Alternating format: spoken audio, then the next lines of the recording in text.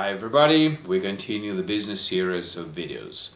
Today I would like to tell you about alternatives. You know this word alternatives. Alternative power sources, alternative uh, life, alternative music. And in business there are some alternatives too.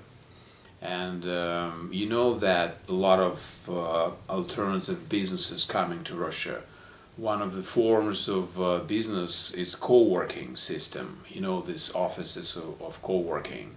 It's all coming from America and uh, sometimes Europe. And um, now you know that um, businesses in America have um, uh, quite high expenses. For example in um, in the San Francisco area uh, around the Silicon Valley um, you know there are major companies um, and there are some alternative living, alternative worker, uh, wor uh, co-working uh, offices. Everything is alternative. Uh, some um, high, um, highly paid um, specialists live in uh, tiny houses around San Francisco in the vans, sometimes in the van parks, because the the life is so expensive, even for uh, some um, important programmers and uh, a lot of alternatives uh, coming into those businesses and we adopt some of them too.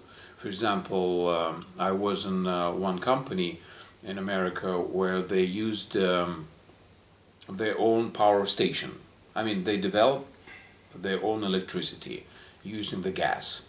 Um, um I mean, gas generators uh, with micro turbines. Uh, that's one uh, kind of part which is economical. They economize on power uh, on the cost of uh, electricity.